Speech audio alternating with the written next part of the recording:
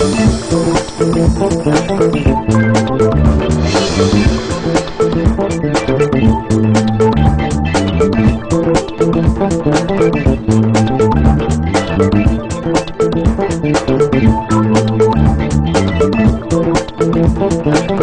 દર્શક મિત્રો, અતિથિ કાર્યક્રમમાં ફરી એકવાર આપનું સ્વાગત છે. દર્શક મિત્રો, અતિથિ કાર્યક્રમ એટલે કે એવો કાર્યક્રમ કે જેમાં વિશિષ્ટ વ્યક્તિત્વને અમે આમંત્રણ આપીએ છીએ અને તેમની સાથે વાતો કરીએ છીએ અંતરંગ. એવા વિશિષ્ટ વ્યક્તિત્વ કે જેની સાથે વાતો કરવાની આપને પણ ઈચ્છા છે અમને પણ. દર્શક મિત્રો, આજે એક વિદ્વાન વિશિષ્ટ વ્યક્તિત્વની સાથે વાત કરવાના છે.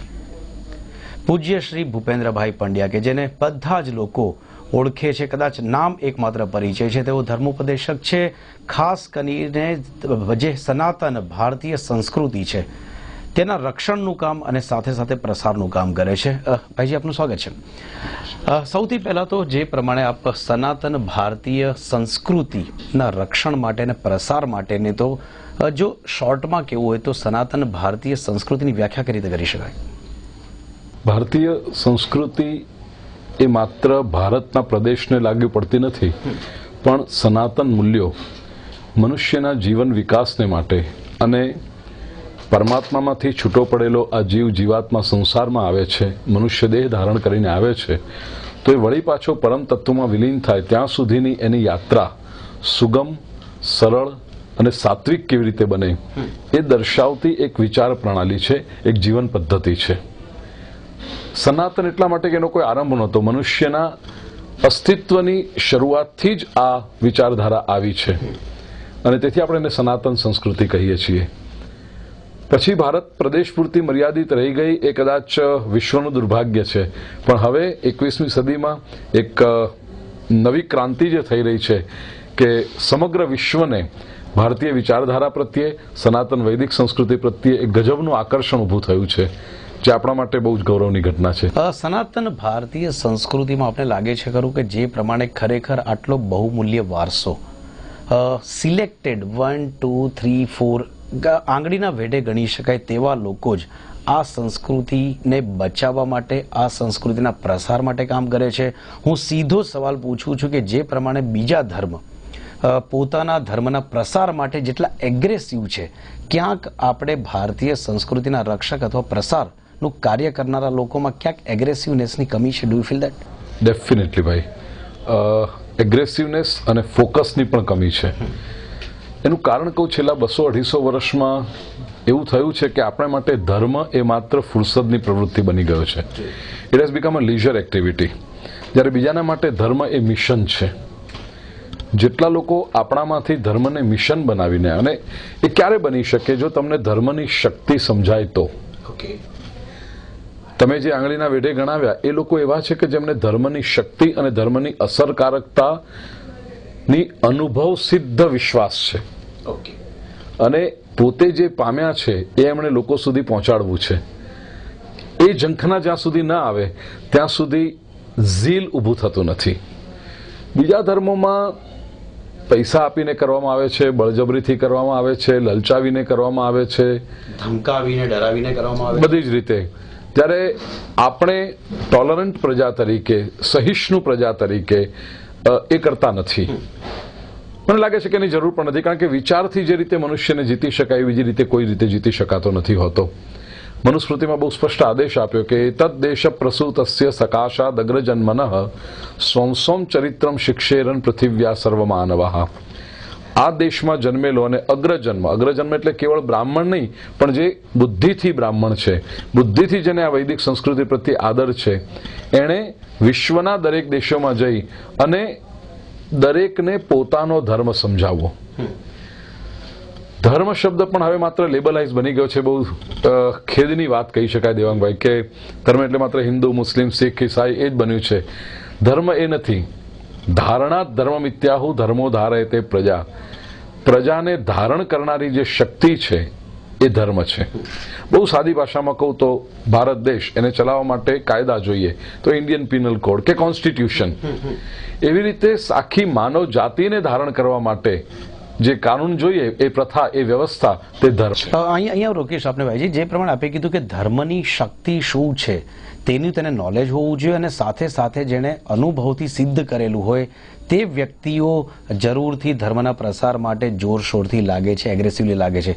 ઓકે નવ વાત કરીએ કે જે પ્રમાણે આપે કીધું કે ધર્મની શક્તિની જાણકારી.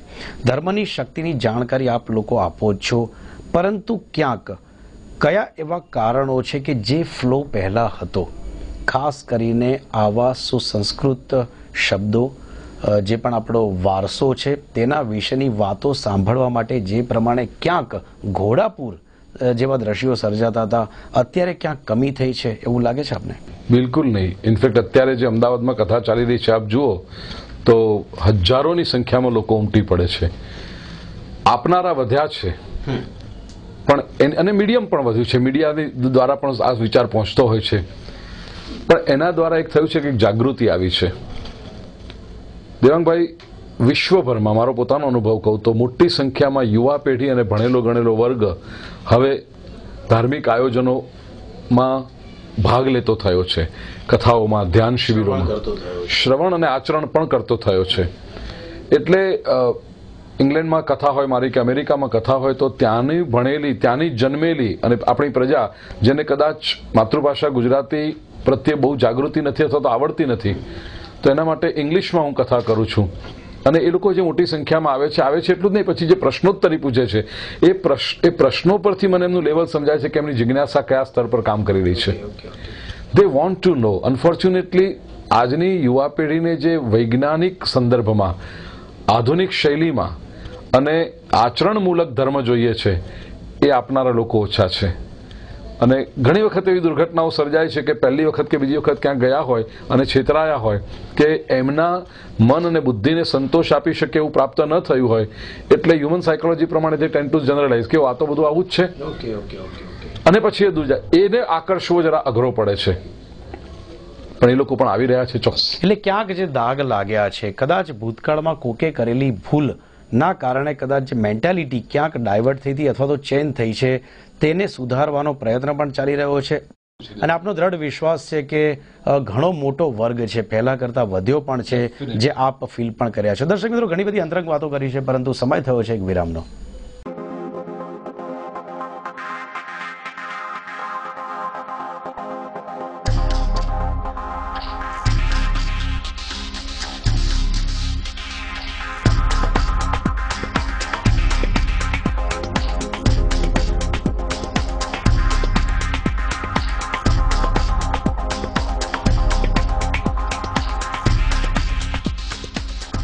માર્કેટના ચડાવ ઉતાર.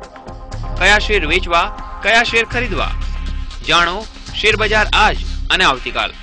રોજ સવારે આઠ ત્રીસ કલાકે.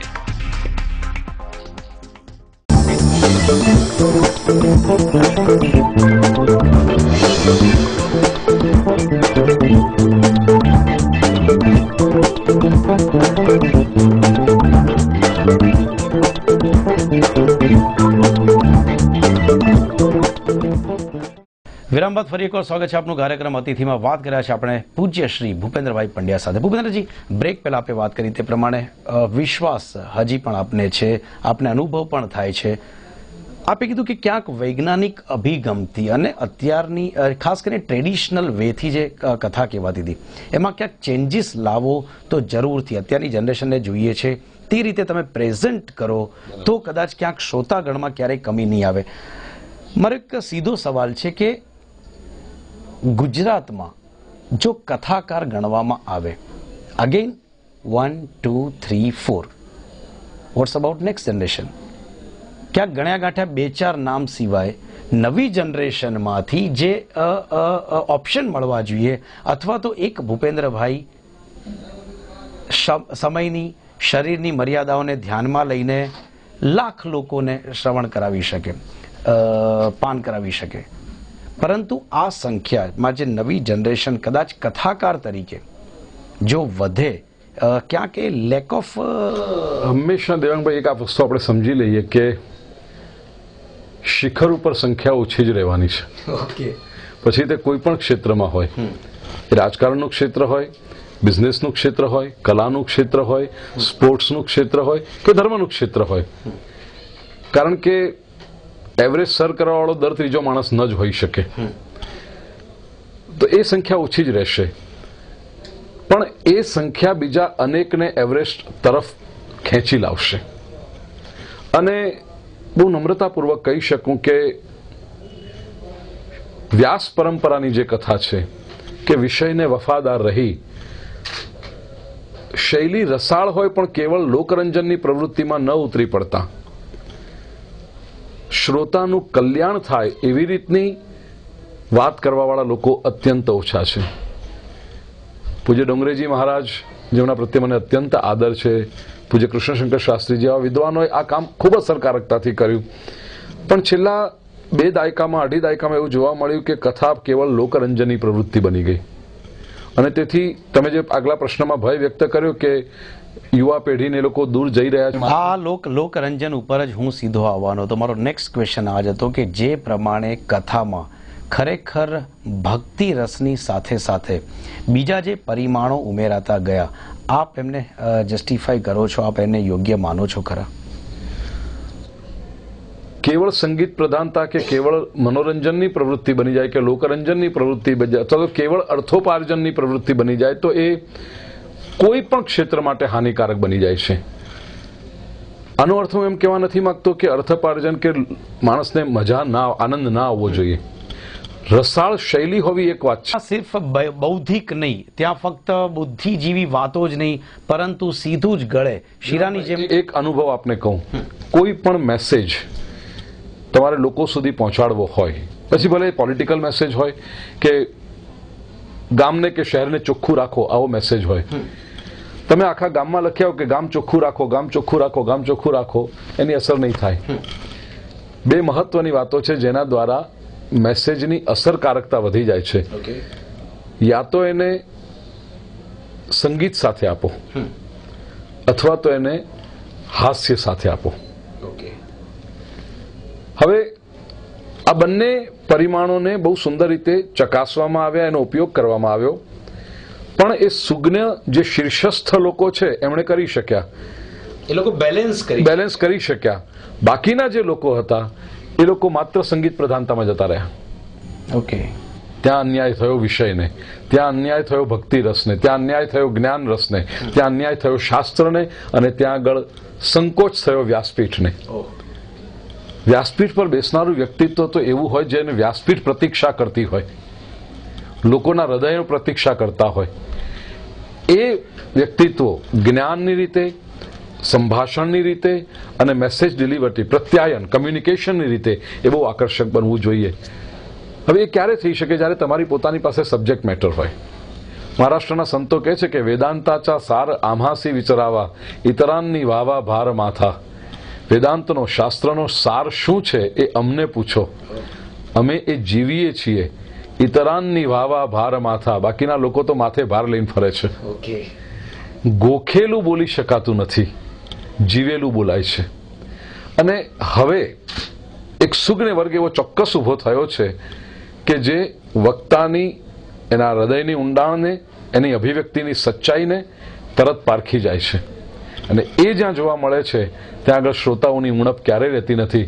એનું કારણ અધ્યાત્મની તરસ એ પ્રત્યેક માનવીનો મૂળભૂત અધિકાર છે અને જ્યાં સુધી એ તરસ છીપાય નહીં, ત્યાં સુધી એને સ્વસ્થતા પ્રાપ્ત થતી અને એના માટે સ્વચ્છ જળ કહી શકાય, રસપાન આપ જેવા વિદ્વાનો આપતા રહ્યા છે ને તેના જ કારણે ભૂપેન્દ્રભાઈ ગુરુની વાત કરીએ તો શરૂઆત ક્યારે કરી ભૂપેન્દ્રભાઈએ? કથા કરવાનો એ પહેલો પવિત્ર દિવસ કયો હતો અને કઈ રીતે એ શક્ય બન્યું? દેવાંગભાઈ થેન્ક યુ આ પ્રશ્ન મને બહુ ગમે છે. મને જ્યાં જ્યાં પૂછાય છે.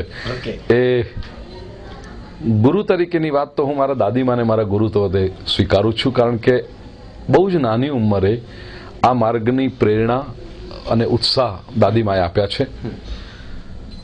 નાનો હતો બે વર્ષ દાદીમા પાસે નાનકડા ગામમાં રહ્યો ગુજરાતના. સિદ્ધપુર પાસેનું સુંઢિયા ગામ. જી. અને બાકી મારો જન્મ ભણતર બધું મુંબઈમાં થયું. પણ આ બે વર્ષ મારા જીવનના બહુ મૂલ્યવાન વર્ષો છે. એ પછી હું દિવાળીના વેકેશન હોય કે ઉનાળાનું વેકેશન હોય ત્યારે દાદીમા પાસે આવતો જ્યાં સુધી દાદીમા આ ધરતી પર રહ્યા. અને એક નિયમ દાદીમાનો મને હંમેશા એવું લાગ્યું છે કે દરેક ઘરમાં એક દાદીમા હોવી જોઈએ. દાદીમા રોજ રાત્રે સૂતા પહેલા મને વાર્તાઓ કહેતા મારો કોટા બે વાર્તાનો જ્યાં સુધી બા પાસે હું બે વાર્તા સાંભળું નહીં ત્યાં સુધી સૂવું નહીં. અને અનેક કથાઓમાં મેં કૃતજ્ઞતાપૂર્વક આ વાતનો સ્વીકાર કર્યો છે વ્યાસપીઠ પરથી. કે દાદીમાએ નાનપણમાં જે બીજ વાવી રાખેલા, એ અત્યારે બધા ઉગી રહ્યા છે. અને નાની ઉંમરે દાદીમાના ખોળામાં બેસીને જે વાતો સાંભળી હતી, એ અત્યારે ગાદીમાના ખોળામાં બેસી અને સમાજને સંભળાવી રહ્યો છું. તો આ માર્ગની પ્રેરણા દાદીમાએ આપી, એટલું કહેલું કે બેટા બ્રાહ્મણનું શરીર છે, તો બ્રાહ્મણના શરીરને દીપાવજે. આપણું કાર્ય છે સમાજને પ્રેરણારૂપ થવાનું, ભગવાનનું કામ કરવાનું. એ દાદીમાના શબ્દો હંમેશા મને યાદ રહ્યા.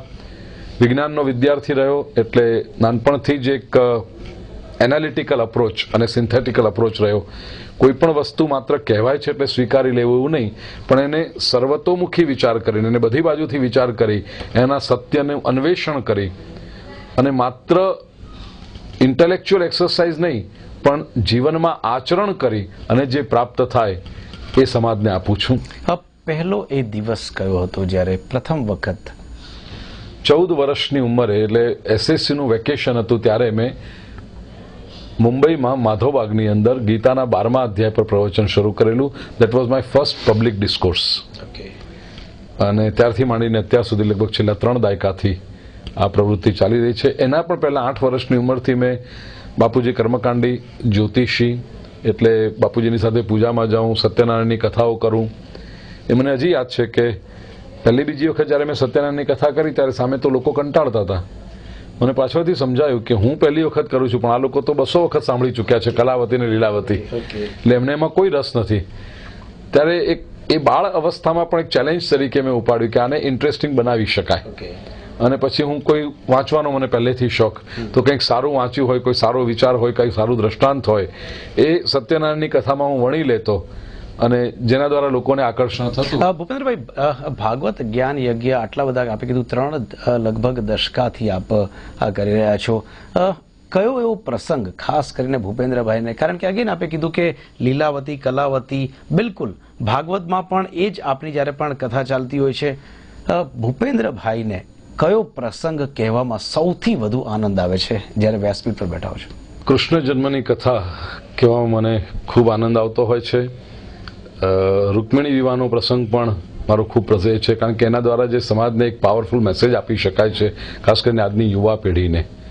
અને કપિલાખ્યાન છે એવા તો ઘણા પ્રદેશ થાય છે એવું દેવાંગભાઈ કે શ્રોતા કયા પ્રકારના છે? અને એની સાથેનું જે પ્રત્યાયન થતું હોય વિશેષ કરીને જ્યારે નિયમિત રૂપે સાંભળી રહેલો શ્રોતા વર્ગ હોય ત્યારે મને લાગે છે કે એમાં કથા કહેવા બહુ જ મને આનંદ આવે છે એમાં. કારણ કે એક એક કથા જેણે દસ દસ વખત સાંભળી છે. હમણાં જ આ કથા ચાલી રહી છે. અમને મુંબઈથી એક ટેક્સ્ટ મેસેજ આવ્યો કે ગુરુજી મેં છેલ્લા દસ મહિનામાં બાર વખત આપની ભાગવત કથા સાંભળી છે.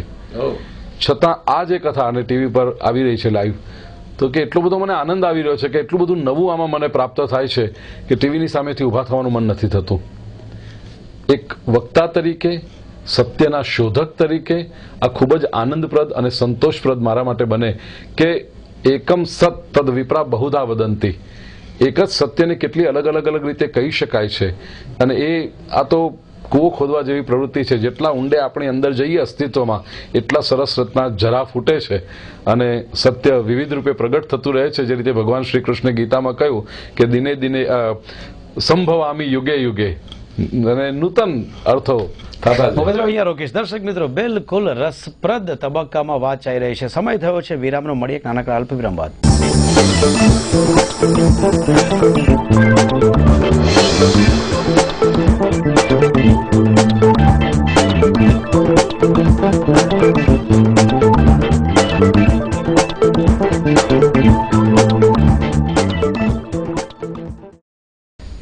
એકવાર સ્વાગત છે આપનું કાર્યક્રમ અતિથિમાં એક નાનકડા વિરામ બાદ વાત કર્યા છે આપણે પૂજ્ય ભૂપેન્દ્રભાઈ પંડ્યા સાહેબ. ભૂપેન્દ્રભાઈ વાત કરી કે આપને ખૂબ જ મજા આવે છે.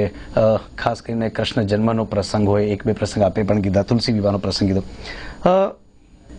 મીડિયાનો રોલ, આપે કીધું કે જે ભાઈએ આપને ફોન કર્યો વર્ષમાં દસ વખત આપને ખાસ કરીને આપની સાંભળી, જોઈ ખૂબ જ આનંદ થયો. સૌથી વધુ વખત આ વખતે આટલા વખતથી સાંભળતા હતા, જોતા હતા, સૌથી આનંદ થયો.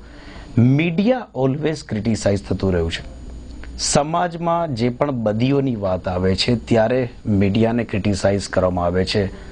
અત્યારે લગભગ કથાકારો એ જ મીડિયાનો સહારો લેતા હોય છે.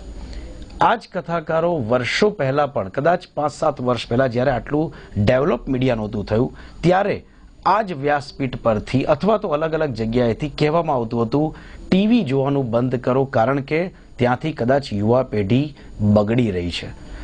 શું કહેવા માંગશો મીડિયા માટે?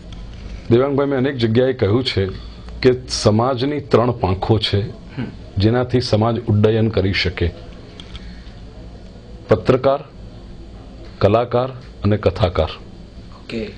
એટલે હું તમને એક મીડિયાના પ્રતિનિધિ તરીકે તમને હું મારા સહધર્મી ગણું છું. નિંદા કરવાનો તો પ્રશ્ન આવતો જ નથી. પણ સહધર્મી હોવાને નાતે ચિંતન અવશ્ય કરવું જોઈએ.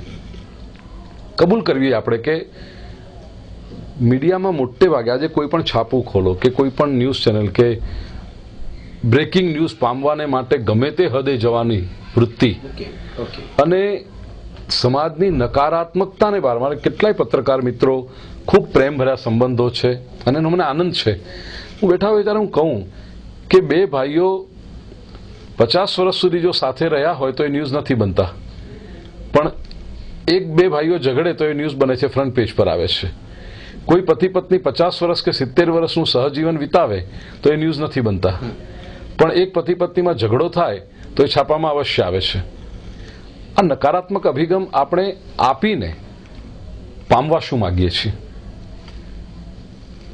લોકોની સાથે જ્યારે વાત કરું ત્યારે કે કે આ જ બધું તો છાપામાં આવે છે અને મીડિયાની સાથે જ્યારે વાત કરું, આપ તો અન્વેષક રીતના ક્ષેત્રમાં છો, પણ માત્ર પ્યોર એન્ટરટેનમેન્ટની વાતમાં કરીએ તો પણ કે અમુક ફિલ્મના ક્ષેત્રમાં કે ટીવી સિરિયલો જે હમણાં ચાલી રહી છે, મિત્રો છે આપણા, ઘણી વખતે સાથે કાર્યક્રમો મળવાનું થાય, એમને આપણા પ્રત્યે આદર છે, એ જે કામ કરે છે હું ઘણી વખતે પૂછું કે આવી નકારાત્મક સિરિયલો શા માટે બનાવો છો? ત્યારે મને કે ગુરુજી સબ પબ્લિક યહી ચાહતી है इसी को टीआरपी ज्यादा मिलता है પબ્લિક કહે છે કે અમને આ બતાવવામાં આવે છે અને મીડિયા કહે છે કે પબ્લિક એ ચાહતી સો સો સો ક- ક- કદાચ ઇન શોર્ટ જો કન્ક્લુડ કરું તો દર્શકોએ પોતે હંસવૃત્તિ રાખવાની જરૂર છે ચોક્કસ પણ એના કરતા આગળ દેવાંગભાઈ હું કહીશ આપને કે દર્શક હંસવૃત્તિ રાખે નહીં રાખી શકે કારણ કે ઓલ સેડ એન્ડ ડન એ માસ છે આપનારની જવાબદારી વિશેષ છે અને તેથી મીડિયામાં આપણે જો એક રિસ્ટ્રિક્ટ કરીશું આપણી જાતને કે આપણે શું આપવું છે? સમાજનું ધ્યેય, આપણે માત્ર આપણો માલ વેચવો છે કે સાથે સમાજનું પરિવર્તન કરવું છે? એ જાગૃતિ આપણામાં પણ હોય એ અતિ આવશ્યક છે. ભૂપેન્દ્રભાઈ મીડિયાની વાત કરી. સીધો આવી જઉં છું જે પ્રમાણે પોલિટિક્સ અત્યારે જે પ્રમાણે ઇન્ડિયન પોલિટિક્સ છે. રાજકારણને પણ ઘણી વખત નિશાન બનાવતા હોય છે. જે પણ વિદ્વાનો છે તેઓ પોતાના પ્રવચનોમાં ક્યારે પણ મીડિયા સમક્ષ પણ તેઓ બોલતા હોય છે કે પોલિટિક્સમાં ક્યાંક ગંદકી પ્રવેશી છે ને એટલી હદે પ્રવેશી ગઈ છે કે તેને હવે વ્યાસપીઠ પરથી જે પ્રમાણે સારા બોલ વચન લોકો સુધી પહોંચે, તેનાથી ક્યાંક રાજાનો જે ધર્મ હોય છે, વ્યાસપીઠનો પણ એક ધર્મ છે.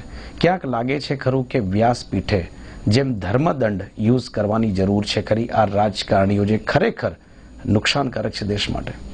ક્યાંક એક્ટિવ થવાની જરૂર છે ખરી? ઇઝ ઇટ સો ચોક્કસ. પણ એમાં એક જ ભયસ્થાન રહ્યું છે દેવાંગભાઈ કે મેન્યુપ્યુલેશનની બાબતમાં રાજકારણી હંમેશા ધર્મગુરુ કરતા હોશિયાર હોવાનું. ઓકે એમની લુચ્ચાઈ. હા, એના- એના ધર્મગુરુનો હાથો બની જાય. ચતુરાઈ ચતુરાઈમાં કન્વર્ટ કરી દેતા હોય છે. કરેક્ટ અને જો કોઈ ધર્મગુરુ એનો હાથો બની જાય તો મોટું ભયસ્થાન છે. હા આ તો આ તો બનવાની જ વાત કરું. તો ક્યાંક એવું લાગે છે ખરું કે ખરેખર ધર્મગુરુએ રાજાને સલાહ આપીને રાજાને સારા કાર્યો તરફ દોરવા જોઈએ. એની જગ્યાએ અત્યારે ક્યાંક ઉલટું થઈ રહ્યું છે. રાજા ધર્મગુરુઓનો સહારો લઈને ધારે તે કામ કરાવતા હોય છે. મેં કહ્યું કે ચતુરાઈ ક્યાં છે? અને તેથી કેવું પડે કે ભાઈ તો પછી એના કરતા આપણે મૌન રહીએ. એટલીસ્ટ આપણો દુરુપયોગ તો ન થાય. આપણે જે બોલી રહ્યા છે એનો દુરુપયોગ ન થાય. એટલા માટે મૌનમ પરમ ભૂષણમ. જ્યાં પૂર્ણ સાવધાની હોય અને તો તમે સ્પષ્ટતાથી વાત કરી શકો. પણ ક્યાં કેવી રીતે બદલાઈ જતું હોય છે આપણને ખબર પડતી નથી. એવા સંજોગોમાં મૌન એ વિદ્વાનનું ભૂષણ બની જાય છે. વિજ્ઞાન વિજ્ઞાન અને ધર્મની ટક્કર લાંબા સમયથી ચાલતી આવે છે. વિજ્ઞાન ધર્મમાં કદાચ સ્વીકારાય છે, અમુક અંશે, પરંતુ મહદ અંશે મહદ અંશે, જ્યારે પણ ધાર્મિકતાની કોઈ પણ એના કરતાં પ્રોપર કહું કે ટ્રેડિશનલ રૂલ્સ છે જે, તેને ક્લિયર કટ ચેલેન્જ કરતું હોય છે વિજ્ઞાન. આપ સાયન્સ સ્ટુડન્ટ પણ, સાથે ધર્મ જ્ઞાનનું પણ આપ કામ કરી રહ્યા છો, કઈ રીતે આ વિજ્ઞાન અને ધર્મ એકબીજાને મદદરૂપ થઈ શકે? મારી દ્રષ્ટિએ વિજ્ઞાન અને ધર્મ એકબીજાના પરિપૂરક છે, ક્યારેય વિરોધી હતા જ નહીં. સનાતન વૈદિક સંસ્કૃતિની વાત કરું. હા, પાશ્ચાત્ય ધર્મોમાં એવું રહ્યું છે કે ધર્મની સત્તાએ વિજ્ઞાનને પડકાર્યું છે ને વૈજ્ઞાનિકોએ ધર્મની આગળ ડરના મારે ઝૂકી જવું પડ્યું છે. પણ ભારતીય સંસ્કૃતિના જે ફિલોસોફર્સ છે, શ્રીમદ આદ્ય શંકરાચાર્યજી તો સ્પષ્ટ કહે છે કે વેદ પણ એમ કહેતા હશે કે અગ્નિ ઠંડો છે તો હું સ્વીકાર કરવા તૈયાર નથી કારણ કે મારો અનુભવ એમ કહે છે કે અગ્નિ ગરમ છે. એટલે વૈજ્ઞાનિકતા જે ભારતીય સંસ્કૃતિમાં છે હું વિશ્વભરમાં ડંકેકી ચોટ સનાતન સંસ્કૃતિનો પ્રચાર કરું છું એટલા માટે કે હું મૂળભૂત રીતે વૈજ્ઞાનિક છું. અને વિજ્ઞાનની દરેક કસોટીએ મને હિન્દુ ધર્મ, જે પોપ્યુલરલી આપણે ઓળખીએ છીએ, પણ સનાતન ધર્મ મને ખરો ઉતરતો દેખાયો છે અને તેથી મને એમ લાગે છે કે વૈજ્ઞાનિક સત્યોની પરિપૂરકતા જે રીતે ધર્મમાં મળે છે. આજે ગીતાના સિદ્ધાંતો જુઓ, તમે ઉપનિષદના સિદ્ધાંતો જુઓ કોઈ વૈજ્ઞાનિકની તાકાત નથી કે એને ચેલેન્જ કરી શકે? અહીંયા અહીંયા અહીંયા વચ્ચે એક સવાલ પૂછવા માંગીશ ભૂપેન્દ્રભાઈ કે જે પ્રમાણે ભારતીય સનાતન ભારતીય સંસ્કૃતિ ઉપર પ્રહારો થઈ રહ્યા છે, છેલ્લા કેટલાય સમયથી? વર્ષો પહેલાની વાત કરીએ તો ક્યાંક મોગલોએ કર્યા, ક્યાંક અંગ્રેજોએ કર્યા, પરંતુ હાલના સંજોગોમાં ભારતીયો દ્વારા જ ભારતીય સનાતન ભારતીય સંસ્કૃતિ ઉપર પ્રહાર થાય છે. સ્પષ્ટપણે કહું, રામ સેતુ સ્પષ્ટપણે ભગવાન શ્રી રામને બિલકુલ એક ચરિત્રહીન વ્યક્તિ તરીકે જ્યારે એસ્ટાબ્લિશ કરવામાં આવે ખુલ્લે આમ બોલવામાં આવે છે આવા સમય. આપણા વાણી સ્વાતંત્ર્યનું એક શરમજનક ઘટના છે. કોન્સ્ટિટ્યુશનના આર્ટિકલ ફોર્ટીનનો આટલો દુરુપયોગ કદાચ ક્યારેય નહોતો થયો. અને પણ એ અગેન વોટ બેંક માટે.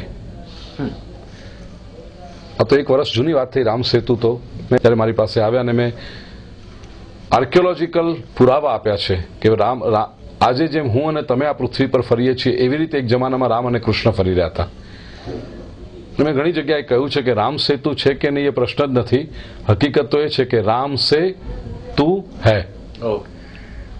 રામ હતા તેથી આપણે છીએ એના વગર આપણું અસ્તિત્વ જ કદાચ ન હોય આ ભૂપેન્દ્ર આપે કીધું કે મૌન વીરસ્ય ભૂષણમ ક્ષમા વીરસ્ય ભૂષણમ. જે પ્રમાણે હિન્દુ સનાતન સંસ્કૃતિ પ્રમાણે હિન્દુ ધર્મમાં આસ્થા રાખનાર લોકોને વર્ષોથી ધર્મ ફેલાવવા માટેની જે લોકોએ કાર્ય કર્યા છે ધર્મ પ્રસાર માટેના આ એક સંસ્કૃતિ આ એક કલ્ચર આ એક વિચાર આપેલો છે. ક્યાંક એવું લાગે છે ખરું કે આના કારણે ભારતીયો જે છે એ એમની એ નબળાઈ બની ગઈ છે એને કમજોરી લોકો સમજવા માંડે છે. ક્યાંક ક્ષમા એ વીરનું આભૂષણ છે એ કાયરની ઢાલ નથી. અને તેથી ઘણી વખત મેં પ્રવચનોમાં પણ કહ્યું છે કે કોઈ તમને એક તમાચો મારે તો બીજો ગાલ ધરો. અને પ્રશ્ન જ્યારે પૂછાય કે બીજા ગાલ પર તમાચો મારે ત્યારે ત્યારે ત્રીજો ગાલ ધરો પણ એ ત્રીજો ગાલ તમારો નહીં સામા માણસનો હોવો જોઈએ. Okay okay okay fine now last last એક મેસેજ આપનો કે સંસ્કૃતિને બચાવવા માટે તમારા અમારા વ્યુઅર્સ તેને આપનો મેસેજ